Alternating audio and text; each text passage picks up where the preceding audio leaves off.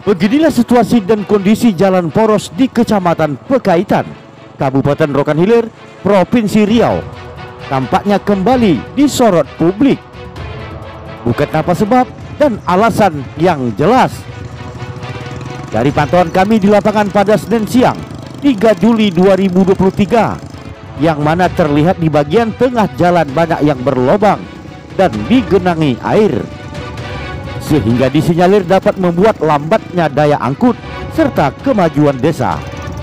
Sementara itu diketahui terkait dengan kerusakan akses jalan tersebut.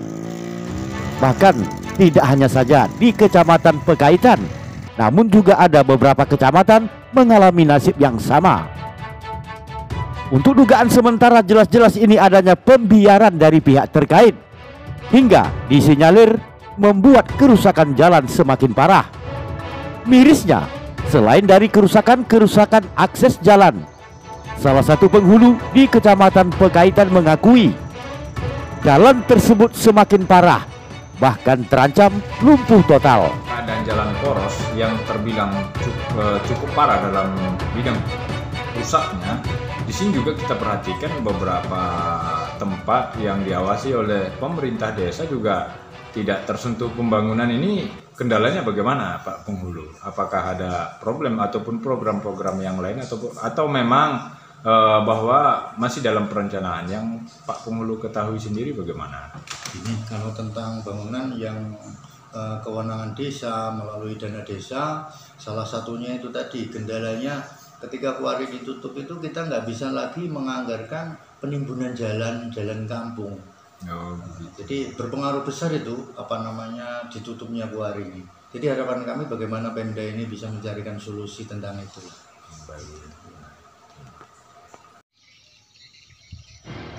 Kertono selaku penghulu Suak Tumenggung juga menambahkan ia berharap agar pemerintah daerah Kabupaten Rokan Hilir bisa mencari solusi untuk memperbaiki kerusakan jalan serta dapat juga melakukan pembangunan di perdesaan untuk kepentingan umum. Di perdesaan salah satunya Suak Temenggung juga termasuk eh, terbilang minim akan pembangunan fisik. Ini sebenarnya yang menjadi kendala apa, Pak Penghulu?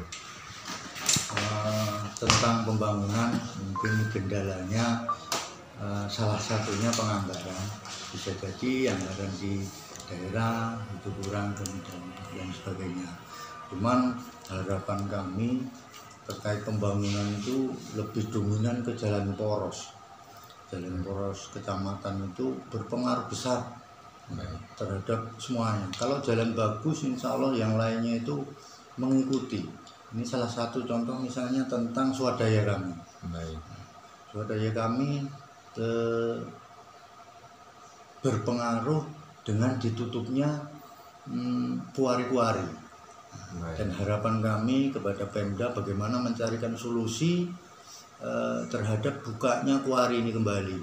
Karena uh, kami bisa swadaya sedikit-sedikit menunggu Pemda membangun dan menganggarkan ke desa-desa atau ke kecamatan-kecamatan kami bisa swadaya. jadi berharap kepada Pemda uh, terlepas dari bangunan yang dikucurkan di kecamatan kami bagaimana mencari solusi, bagaimana kuari bisa buka, kita bisa swadaya memperbaiki jalan yang belum tersentuh bangunan Pemda. Itu harapan kami. Baik. Dari Kabupaten Rokan Hilir, Andoko, Metro terkini, laporkan.